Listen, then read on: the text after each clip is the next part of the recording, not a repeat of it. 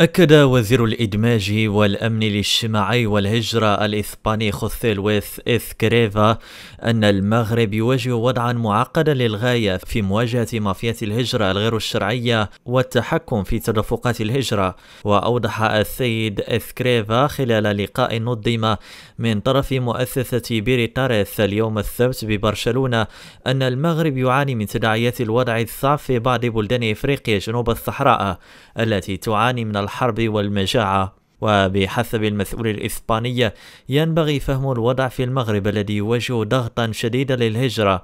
وشدد الوزير على أن العمل الذي يقوم به المغرب ليس بالسهل لافتا إلى أن السلطات المغربية تواجه وضعا معقدا للغاية. وأكد السيد إسكريفا من جهة أخرى على أهمية إظهار أكبر قدر من التعاطف والحساسية تجاه ظاهرة الهجرة وما تعنيه.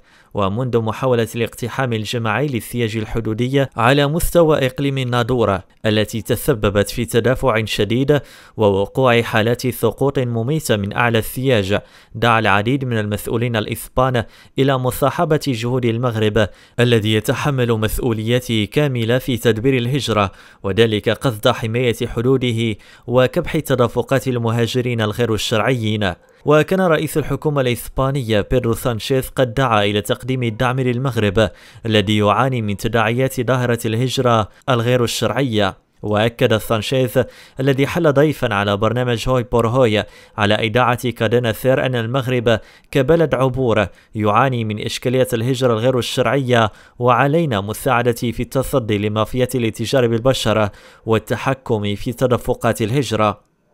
وإلى الجزائر وعلى بعد ثلاثة أشهر فقط من الموعد الذي حددته الجزائر لعقد القمة العربية على مستوى ملوك وأمراء ورؤساء الدول. والمحدد في شهر نوفمبر المقبل لا يبدو أن السلطات هذا البلد قد وجدت حلا لموضوع الخريطة الكاملة للمغرب التي تضع أقاليم الصحراء جزءا من تراب المملكة وهو ما اتضحت معالمه في تونس مؤخرا حينما انسحب الوفد الجزائري من اجتماع عربي احتجاجا على نشر هذه الخريطة على الرغم من أن المنظمين اعتمدوا خريطة سبق أن نشرتها الجامعة العربية. واحتضنت تونس هذا الأسبوع المؤتمر القومي حول التحول الرقمي لتطوير مؤسسات الضمان الاجتماعي وفي خلفية منصة المشاركين في الندوة الافتتاحية ظهرت خارطة الدول العربية مقسمة حسب حدودها وظهرت الجغرافيا المغربية كاملة مع وضع العلم المغربي عليها كما هو الشأن لباقي الدول المشاركة بما في ذلك الجزائر والبلد المنظم تونس. لكن هذا الأمر لم يعجب الوفد الجزائري الذي أصر على أن الصحراء ليست جزءا من المملكة قبل أن يغادر المكان.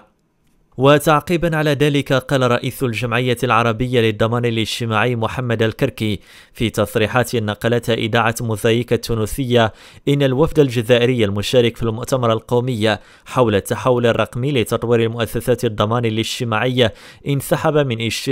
انسحب من أشغال افتتاح المؤتمر احتجاجا على غياب حدود واضحة للصحراء المغربية ضمن خارطة الوطن العربي التي اعتمدها فريق تنظيم المؤتمر. مضيفا أن الهدف من المؤتمر هو جمع الدول العربية لا التفرقة. ولا ترتبط الجمعية العربية للضمان الاجتماعي المنظمة للحدث بجامعة الدول العربية بشكل مباشر كما أنها ليست ذات أهداف سياسية لكن اعتمادها الخريطة المتبناة من طرف الجامعة العربية أعاد إلى الأذهان بعد صمت استمر لأشهر.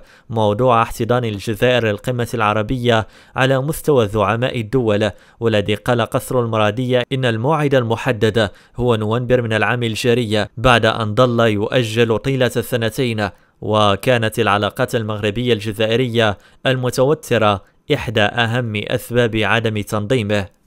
ويعد موضوع الخريطة المغربية مشكلة مؤرقة للجزائر حيث أن جامعة الدول العربية لا تعترف بعصابة البوليساريو التي تدعو لها السلطات العسكرية في بلاد الكبرانات وتلقى الوحدة الترابية للمغرب دعما صريحا من عدة دول ذات تأثير كبير. وفي مقدمتها المملكة العربية السعودية والإمارات العربية المتحدة وقطر والكويت والبحرين وسلطنة عمان والأردن ومؤخرا أعلنت مصر أيضا بشكل صريح دعمها لوحدة التراب المغربية.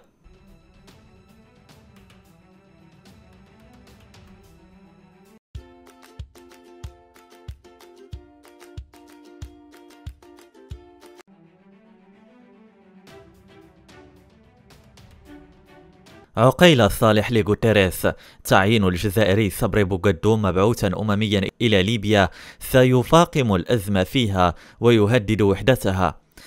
قال عقيل صالح رئيس البرلمان الليبي في رسالة وجهها إلى الأمين العام للأمم المتحدة أنطونيو غوتيريش إن تعيين وزير الخارجية الجزائرية السابق صبري بوغدوم مبعوثا أمميا لليبيا سيفاقم الأزمة فيها ويهدد وحدتها. ورفض عقيل صالح في الرسالة التي نشر تفاصيلها موقع الحدث التابع لقناة العربية ترشيح الجزائري بوغدوم مبعوثا أمميا إلى ليبيا.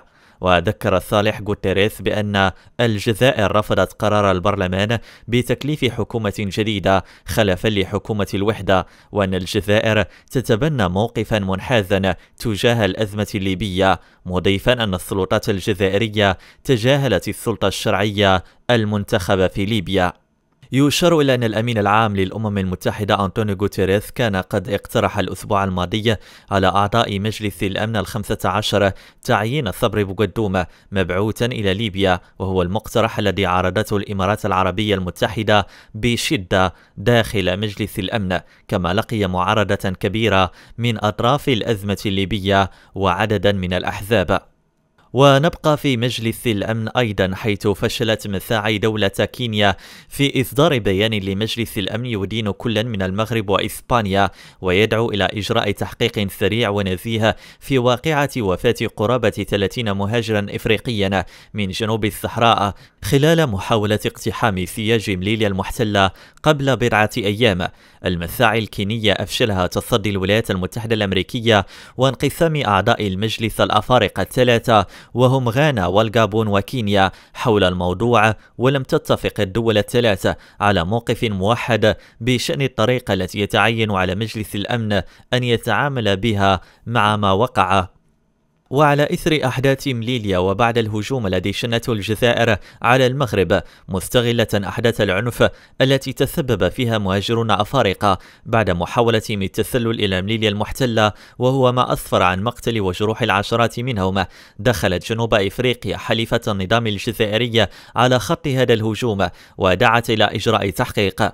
وقالت وزارة العلاقات الدولية والتعاون لجنوب إفريقيا في بيان إعلامي إن جنوب إفريقيا تعرب عن بالغ أسفها وقلقها لوفاة 23 شخصا على الأقل وإصابة العديد من المهاجرين الذين حاولوا دخول مليليا.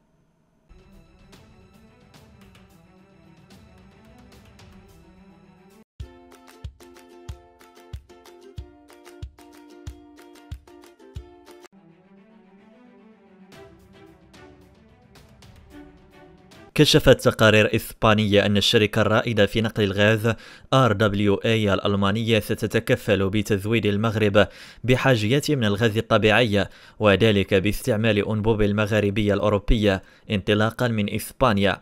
وبدأت إسبانيا لأول مرة بنقل الغاز إلى المغرب عبر خط أنابيب المغرب العربي أوروبا مؤكدة أنه ليس غازا جزائريا في حين توقفت الجزائر.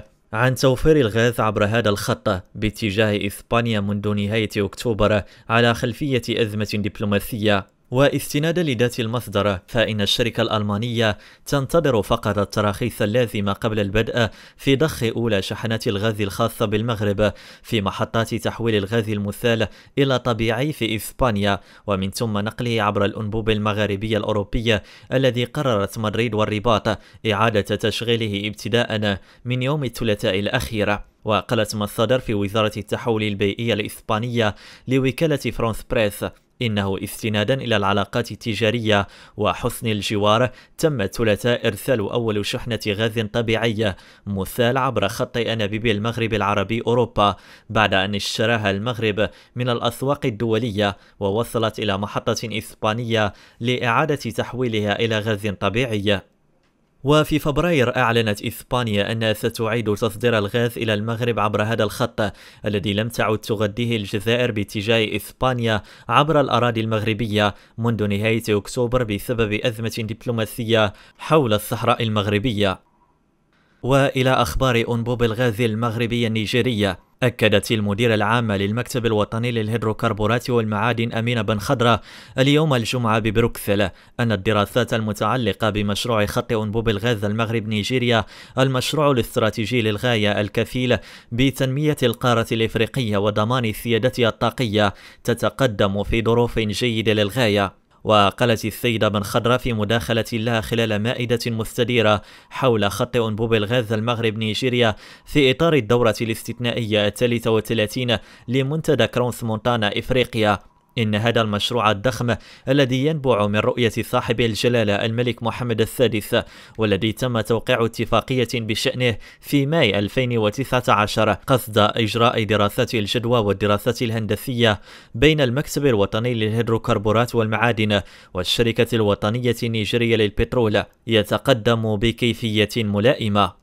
وأوضحت أن المكتب الوطني للهيدروكربورات والمعادن والشركة الوطنية النيجيرية للبترول يعملان في إطار تكاتف تام للجهود مبرزة الخطوات التي قطع المشروع منذ انطلاقه خلال الزيارة الرسمية التي قام بها صاحب الجلالة الملك محمد الثالث في دجنبر 2016 لمدينة أبوجا وتوقيع الاتفاقية ذات الصلة في العاشر يونيو 2018 وذلك خلال زيارة الرئيس النيجيري محمد بوهاري إلى الرباط. وبعد إشارته إلى أن الدراسة الحالية تسير بكيفية إيجابية للغاية شددت المسؤولة على أهمية انضمام المجموعة الاقتصادية لدول غرب إفريقيا إلى المشروع والتي كانت قد أعطت موافقتها في العام 2020 على أن يكون هناك مشروع واحد على ساحل غرب إفريقيا. وأكدت المديرة العامة للمكتب الوطني للهيدروكربورات والمعادن أن الدراسة تتقدم في ظروف جيدة للغاية ونأمل أن نكون في الموعد مع هذا المشروع الاستراتيجي والهام للغاية بالنسبة للتكامل الاقتصادي والاجتماعي لقارتنا. وسجلت أن هذا المشروع يكتسي طابعا استراتيجيا أكبر في السياق الحالي للحرب الدائرة في أوكرانيا والتي ضاعفت حاجة أوروبا لتنويع إمداداتها من الغاز مشيرة إلى أن خط أنبوب الغاز المغربي النيجيري يشكل في هذا الصدد فرصة لأوروبا.